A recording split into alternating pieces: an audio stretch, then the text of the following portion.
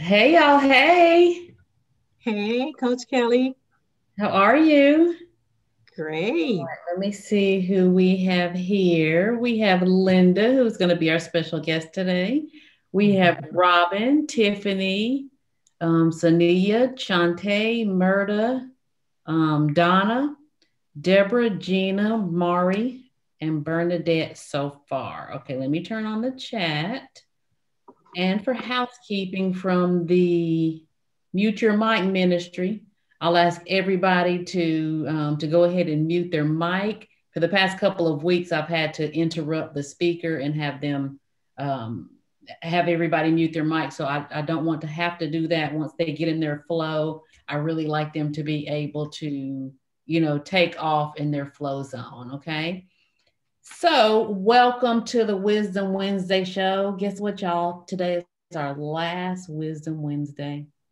Our last Wisdom Wednesday that we're going to be doing, and I'm sure it's going to be amazing. Linda Bug is going to be talking to us about navigating down clarity lane through fear and self doubt. And we all know that at some point in our life, we have had this. If you haven't had it, you're probably not on this broadcast because we don't have any spring chickens on here, as we always say.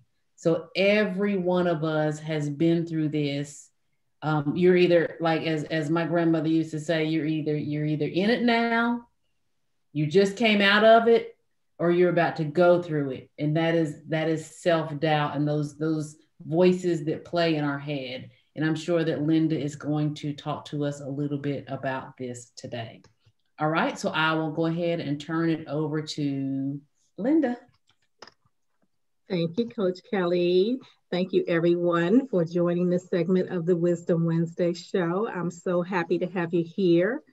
And I want to take you on a journey, an imaginary journey with me about navigating down clarity lane through um, self doubt and fear. So if you want to close your eyes and kind of visualize what I'm about to explain, you're welcome to do that. But I want you to imagine Clarity Lane being a street in a nice suburban neighborhood. It has colonial homes on each side. It's kind of an older na neighborhood, one that's been around for a long time. The homes are made of brick or they're made with stone. The trees are very mature, they're tall, and during the summertime um, as you walk down Clarity Lane. And the main thing about Clarity Lane is quiet. It's a quiet neighborhood. One of those neighborhoods where you can sit on the front porch and just wave across the street and say, hey, hey, neighbor. That's Clarity Lane. Now, Clarity Lane is where you bring all of your goals and aspirations, right? At the beginning of Claire is maybe that new project that you're working on, that you want to embark on at work, that you have no idea is totally outside your comfort zone, but you want to, you figure that you want to challenge yourself to do it. Or it could be um, something, a difficult conversation you need to have with someone to make your relationship better. Or it could be um, a career change that you want to embark on or it could be retirement that you're facing at some point because you know what am i going to do with myself after re- i retire? You know it could be all those things that we could be juggling because we have so much on our plate and we put it to the side because we don't want to have to deal with it. Or we have so many things on our plate we choose not to do with it and we can't make up our mind which one to do first. Those are the things that we bring to clarity lane now, who lives in Clarity Lane, you may ask yourself? Well, the first one on the right side, as soon as you turn on Clarity Lane, is Clarity, right? Clarity lives first. That's that first house on the right.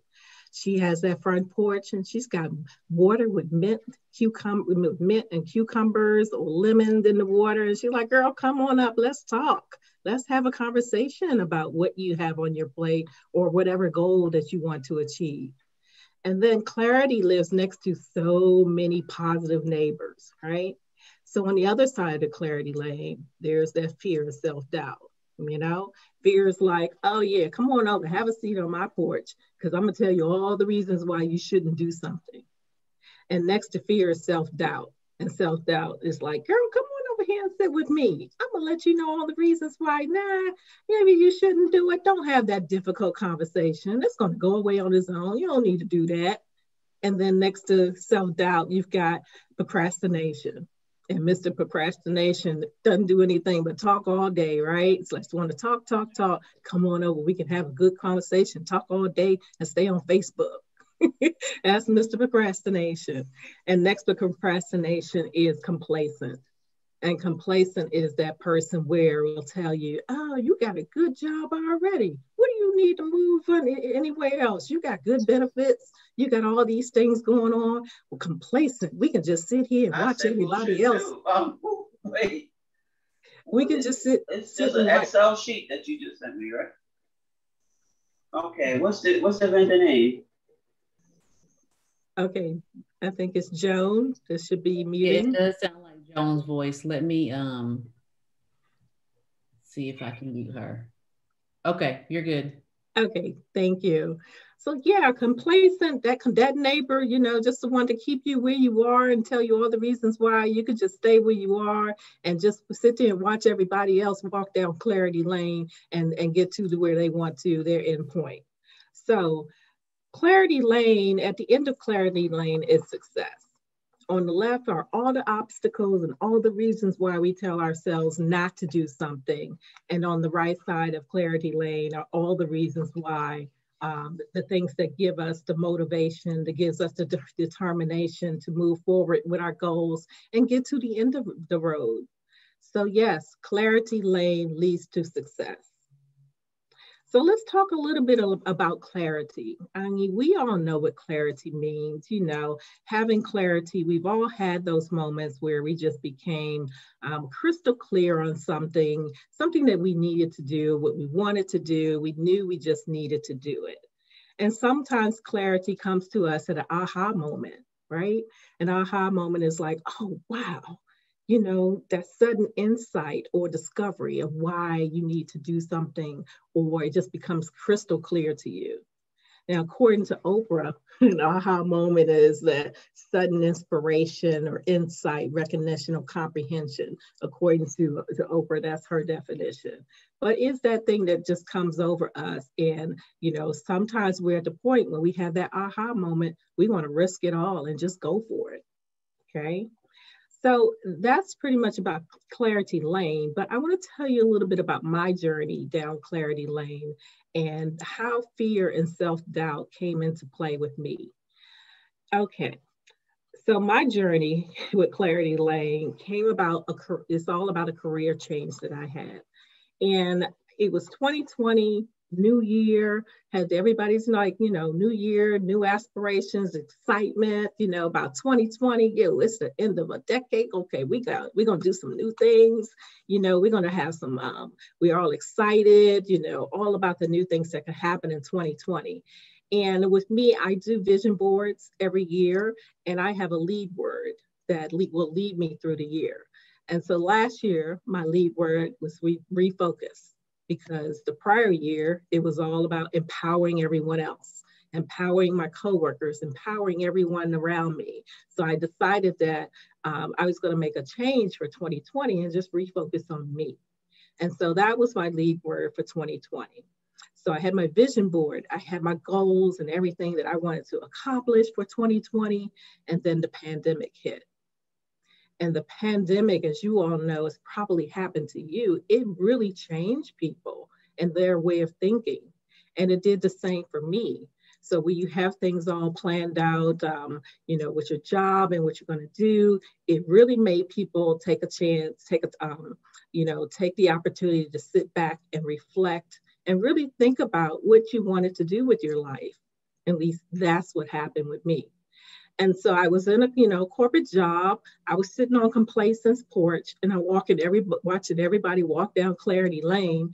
And because um, I felt like, oh, you know, yeah, complacent, I'm good, girl. Yeah, I'm sitting here. I'm not happy, but I'm good in this corporate gut, this corporate job right here. And and so I realized that I needed that I wanted more because the pandemic had gave me the opportunity to kind of sit back and say, is this really what you want? Linda, are you really living in your purpose? Are you walking in your purpose? I worked as a recruiter. So all day, all day, I'm telling candidates, you know, to live their, to their full potential. You can do this, you can do anything you want to do. And I'm giving this advice, but I'm not taking my own. I'm sitting on complacence porch, sipping on some tea. and so I realized, I realized that I needed to find some clarity. Clarity needed to come into play. And so I, you know, I was walking down Clarity Lane. I said, bye, complacent. I'm going over here to visit Clarity and we're going to have a conversation. And Clarity told me, you know what? Here's what you need to do. You need to get out that journal, start to read, to, to, to refocus, start to reflect, start to think about what you really want in life and talk to God.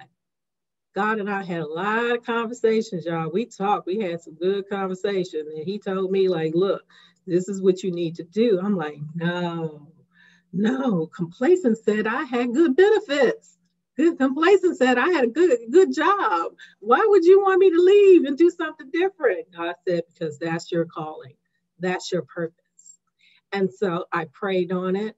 I journaled on it and I had my aha moment and I took that leap. I took the leap and I left my job.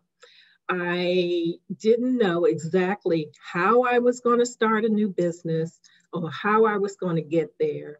I just knew I wanted to continue to help people live to their full potential. And I wanted to help people uh, be the best person that they could be. And so I needed to do that as well. So things just started to evolve after that come into divine order. I was following in my divine footsteps. I was following what God was leading me to. And I came upon a wisdom, wisdom show, a wisdom Wednesday show, just like where you all are right now. And this one was about career change. And I thought, hmm, I'll attend that and see what it's all about. And I attended that Wisdom Wednesday show last year, and um, and that brought me to Coach Kelly and it's pretty much history because I've been through probably at least three programs of Coach Kelly, and it has led me to be where I am to now, which is a, a certified life and clarity coach. And I have not looked back. I had no, I had an aha moment for each stage stage of becoming where I am, and I just have not looked back. I'm at a point where I am now 2021. My lead words are bold and fearless. So clarity is like, girl, you do your thing. Go ahead and visit next door to confidence, and then keep on moving down to determination, and then stop on uh, focus. Um, stop on their porch, and and empowered. Stop on empowered porch, and you're going to get to success. So like Coach Kelly said, we have been through situations where we needed to find clarity, where we needed, we're facing a, a difficult situation that we want to do, don't want to have to deal with, or we want to do something different. But we can all do that. We can all find clarity. We can all walk down clarity lane. And fear and self doubt is going to always be there always. It's going to pop in the back of our head. But when we see the end of clarity lane, which is success, and know that we're walking in our purpose, we're going to walk down clarity lane saying, Fear, I ain't fooling with you today. Uh-uh. Self doubt, girl, bye. I'm going on. I'm gonna keep walking towards down success, and I'm gonna keep doing what I'm doing to to make sure that I can be the best person that I can and walk it within walk in my purpose. So walking down clarity lane is not so bad, even when you have to navigate around fear and self-doubt. You know it's going to always be there because when you're, but when you're focused and focused on your success and your divine purpose, the obstacles on the left side of the street, they're not going to be so, so relevant.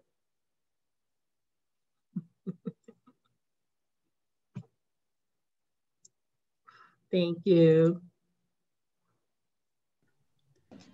Awesome. I love that analogy. It was so good. Thank you. You really took us on a journey. Okay, y'all. Okay, so I'm going to recap this as best I can, and then I'm going to open it up for anyone who has any questions.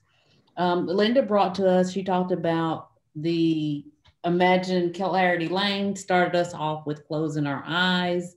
Um, quiet, friendly. We we all know that neighborhood. You probably got a neighborhood in your head that you visited before, maybe when you were little or as an adult, that it's like, oh, I would love to live there, or maybe you live there. You know, who knows? But it, the the point was there is a place of clarity that is cool, calm, serene, is where she was taking us. But there's also another street or people on that street that's like, hey, I'm self-doubt. Hey, I'm procrastination. Hey, I'm I'm Mr. Complacent, as she said. Here's the thing. Self-doubt, complacency, procrastination, they will always be there for the taking. Always. No matter how far we get in life, Obama still deals with it. Oprah still deals with it. It still comes up. They deal with it it's how do they deal with it is the thing. Do you succumb to that? Do you do you give in to that? Do you let that voice that's always going like oh just sit over here just sit on the porch just drink the sweet tea you got that good job don't turn over the apple cart.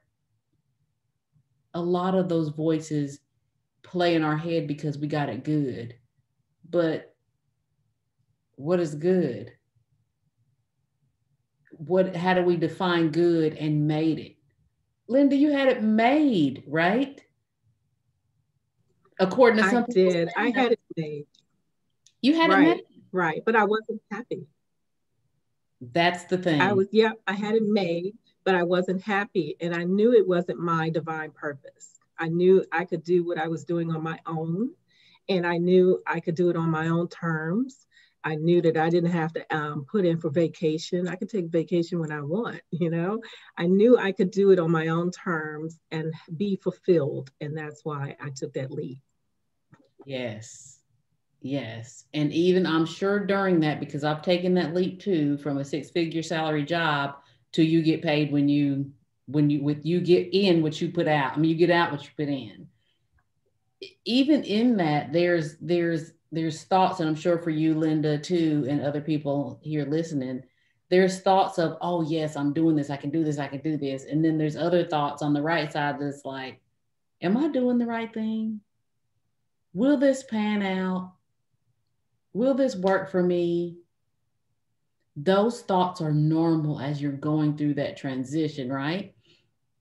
But as you as you get further down that journey, and you take one step right after the other down clarity lane intentionally and purposefully, the more you get into that clarity, the, the quieter those voices are of procrastination, of self doubt, of complacency. But many times people stay in that middle where one where the where the procrastination, self doubt, and complacency voice is a little bit louder than this voice over here. Am I right? It's just a little bit louder. The thing that, that we want you to take away is that you get to choose which voice you hear and act on the most. They'll always both be there. No matter where you are in life, there's always opportunity to go further. There's always opportunity to stay right where you're at. It is up to you. The difference between successful people and not so successful people, if you will, there's not another word for it. I don't want to call them failures because that's not exactly what it is. The difference is the successful people decided to listen to the other voice. That's it. Now we can sit and talk about skill set and mindset and all that, but before all of that, they had to decide which of these two voices am I going to listen to? Which of these two paths, which lane am I going to get on? Am I going to get on clarity lane and seek all the things there? Or am I going to am I going to, to, to lean into that that procrastination and that complacency it's it's real comfortable. That's the thing, y'all. It's real comfortable. It's easier. Mm-hmm. It's easier to just to be left alone and do nothing. You know why it's easy? Because there's nothing you have to do but keep doing what you're doing. But sometimes, and for some people, Linda being one of them, me being one of them, and I'm sure some of you other ladies here on this in this in this uh, Wednesday Wednesday meeting. Sometimes there's some inkling in your body that says, "I was made for more." And the longer you ignore it, the louder it gets. All the way until you can't even sleep good at night. Is that anybody? You can't even sleep good.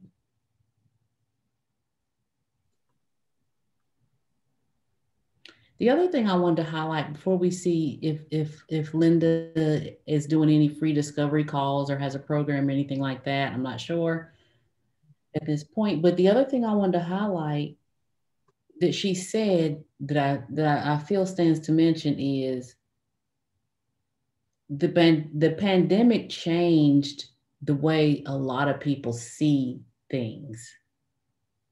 You could have just been putting along just regular, but the pandemic changed the way we see things. A lot of people realize this job that I thought was just a bomb, they'll let me go in a heartbeat.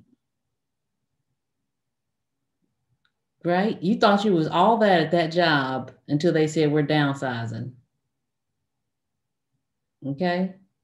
And all your stuff could fit in one and a half boxes.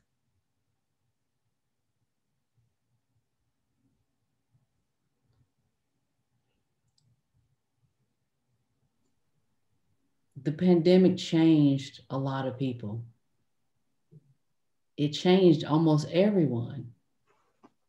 If the pandemic has not changed the way you see and do life, I'm not going to be able to help you. I'm just saying.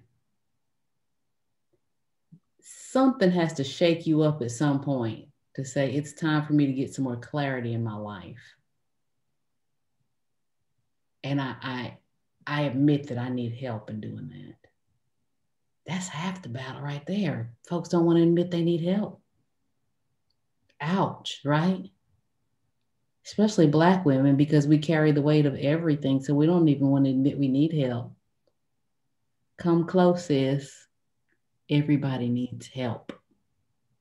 Did you know Oprah has a coach? Did you know Tony Robbins has a coach? Did you know Michael Jordan has a coach? All the greats have coaches. the step that Linda has taken out of her corporate career, she still had a desire in her heart to help people. So that's what she does now. She just does it for herself now. It's through her company because that's decision the decision that she made. That's the clarity that she intentionally gained.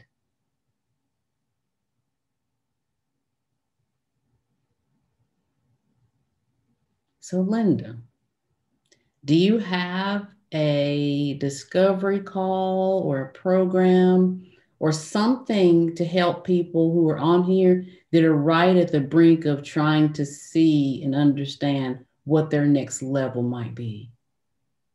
Absolutely. So, yes, I do discovery calls that we can kind of get together and talk and just talk through in a comfortable setting, you know, what's going on, what's going on in your life, what is it that you're facing, what is it that you need clarity on. We can talk about that because, you know, I have been through probably what you're going through.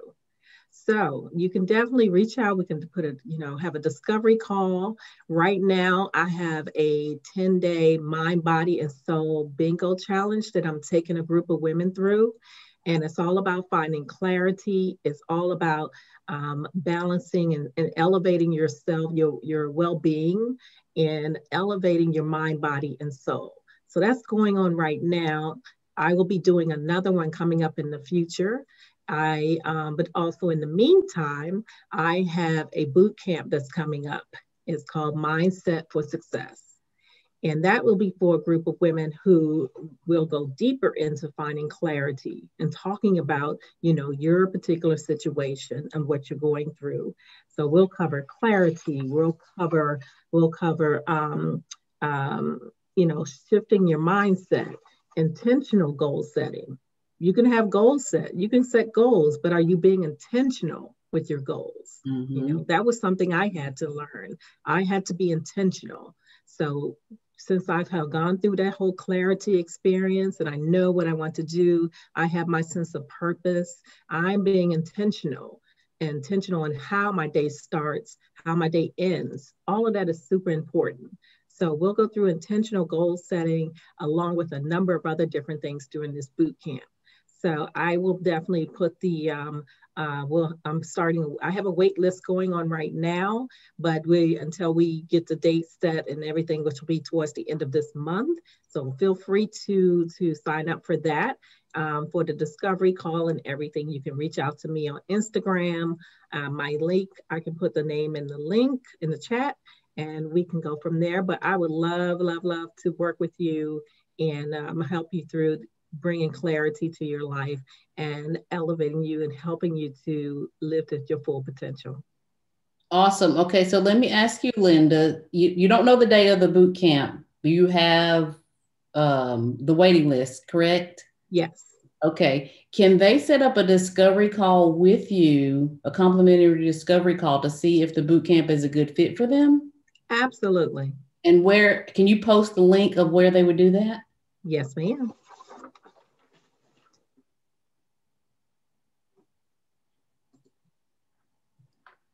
So if you're you're watching and you're wondering, I don't know if this is for me or not. I just I just have a couple of questions. Setting up a discovery call with Linda is an opportunity to see if it is or not. You have absolutely nothing to lose just by having the conversation. And she is going to post the link and if if you know that's you, even if you're just on the fence, I want you to go ahead and grab the link and just set up the call with her. Oh, she's grabbing it. Okay, so there is her Acuity scheduling link.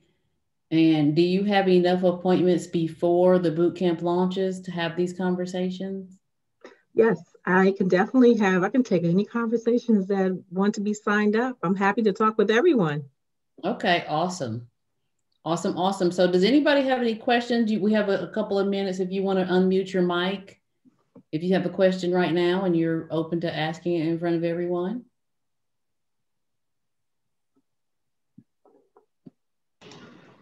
I have a question. Yes. Linda, you talked about procrastination a little bit in your, first of all, a great story that you share with everyone. You talked about procrastination. For those who are actually in that category, what are some tips that you can provide to us that's in that status? Mm-hmm. That's a great question, Shante. Um, procrastination, there are a couple of things that you can do. Um, first is recognizing that you're procrastinating is number one, but we tend to procrastinate because of, you know, something that we don't want to do, right? Or we know it's going to be a difficult task or something that we're going to have to give a lot of thought to. So it's really all about, you know, prioritizing your day. If it's something that you're procrastinating on that you want to do, make that the first thing that you do during the day because sometimes we tend to do the easy stuff first. But when you do the, the, the more challenging task that you've been procrastinating on, when you do that first, that is something that will make the day go a little bit easier. Um, and if you put like set, set, even if you put 10 minutes into it and say, okay, I'm going to do this for 10 minutes because I've been procrastinating on it, I'll make myself do 10 minutes. Nine times out of 10, you'll probably end up spending 30 minutes on that particular task. So that's one take. That's one idea that you could do. Awesome, Shantae. I think you should also set up a um, one of the complimentary discovery calls with Linda as well. Do we have any other questions before we go? Thanks, Linda. You're welcome. All right, y'all. Thank you so much. So we will go ahead and close out for the day. Congratulations, Linda. I loved, I love this, this, I love analogies, but I love this analogy because it, it will allow everyone to to from this day forward to continue to play in their head what lane am i walking down am i walk, am I walking down clarity lane am i walking down procrastination lane am i walking down self-doubt lane am i walking down complacency lane and and when they're walking down those lanes that they shouldn't to to be able to recognize and say oh i'm doing it again i'm doing it again let me get off this street because it does not lead to anywhere good and let me turn and get on another street and be intentional about the way I'm carrying out my life and my goals and my dreams. All right. All right. Thank you guys. Take care. All right. Thank you. Bye bye.